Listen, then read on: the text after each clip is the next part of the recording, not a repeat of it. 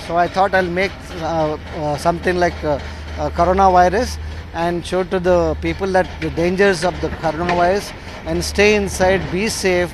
This is a complete car with suspension, steering, and it has six wheels. It can go up to uh, 40 kilometers speed. Uh, we are going to take it around the city and uh, get awareness of the danger of coronavirus and be stay indoors.